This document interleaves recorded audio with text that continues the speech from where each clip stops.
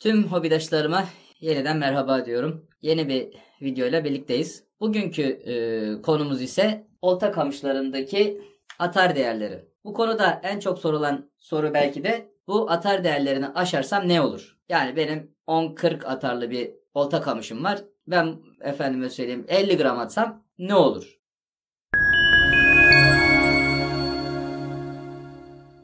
Birkaç atışta bir şey olmayabilir. Belki de olur belli de olmaz. Ancak kesinlikle sürekli yaparsak kamışın ömrünü kısaltırız. Tabi biliyorsunuz her türlü endüstriyel ürün belirli standartlarda üretiliyor. Olta kamışları da bundan pek farklı değil. Nedir mesela? İşte bazı değerlerin testler sırasında aşılma durumu söz konusu. Bunu performanstan çok ürünün dayanıklılığı için yapıyorlar elbette. Yani az önce vermiş olduğum 10-40 atarlı bir kamışı 10-40 arasında değerlendirdikleri gibi, test ettikleri gibi tabi her firma için söylenemez bunlar. Mutlaka işinin ehli, kaliteli, bilinmiş, iyi ürünler üreten firmalar için geçerlidir. 40 gramın üzerinde de nereye kadar dayanacağını test ediyorlar. Bu testler sonucunda zaten bu olta kamışlarının üzerindeki işte atar değerleri yazıyor. Ama dediğim gibi kamışın ömrü kısalır. Ee, bu soruları soran arkadaşları e, anlıyoruz. Anlıyorum. Ellerinde bir bütçe var. O bütçeye göre e, malzeme alıyorlar. Bu malzemeleri en e, sonuna kadar performansıyla kullanmak istiyorlar haklı olarak. Eğer mesela bir 10-40 gram atarı var diyorsa bu 10-40 gram arasında e, verimli bir şekilde kullanacaksınız demektir arkadaşlar. Yani bu e, dediğim gibi aşılabilir. Daha azı da atılabilir. Ama verim açısından uyulması gereken aralık mutlaka üzerinde verilen aralıktır. Tabi ortalamasını alıp da 10 artı 40 ortalaması işte 50 bölü 2 25 diyerek de e, en verimli optimum atış e, gramajını bulabilirsiniz.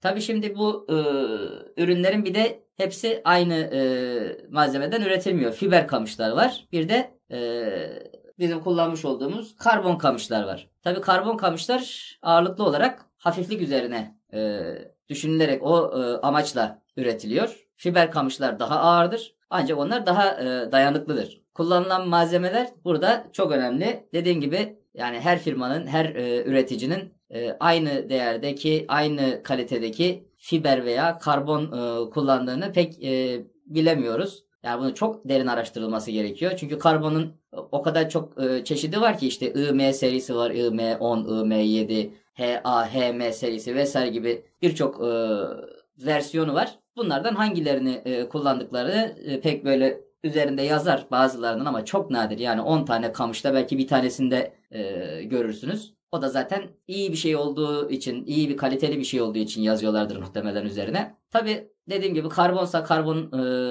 kalitesine, o karbonun e, sarım sıklığına, işte güç noktasının e, nasıl ayarlandığına dikkat etmek lazım. Onları e, bilerek kamışın e, o atar değerini aşıp aşamayacağına güvenmek lazım. Bunlar da belirli standartların, belirli fiyatların üzerindeki kamışlarda ancak e, garanti olmasa da nispeten güvenilir olur. Dediğim gibi sonuçta bunlar test ediliyor ve bu testlerde belirli e, eldeki verilere göre gramajlar, atar aralıkları, aralıkları pardon belirtiliyor. Tabi fiber kamışlar ağır olmasına rağmen daha dayanıklı olduğu için daha dayanıklı dedik ya illa ki ben bu atarı aşacağım taktım kafaya diyorsanız fiber kamışlara bu konuda daha fazla güvenebilirsiniz. Karbon kamışlara çok fazla bu konuda ağırlığı arttırma, gramajı arttırma konusunda bence güvenmenizi tavsiye etmem. Ama fiberler daha e, dayanıklıdır. Onlar mutlaka daha fazla dayanacaktır. Tabi bozulmaz, kırılmaz hiçbir şey yok dediğimiz gibi. E, bunlar da bir ömrü var. Sonuçta e,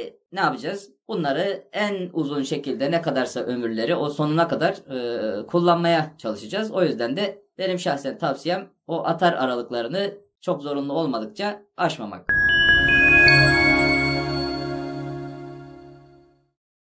Evet arkadaşlar benim bu konuda söylemek istediklerim, söyleyeceklerim bunlar. Umarım sizlere faydalı olabilmişimdir. Bir sonraki videoda görüşmek üzere diyorum. Hepinize rast gelsin.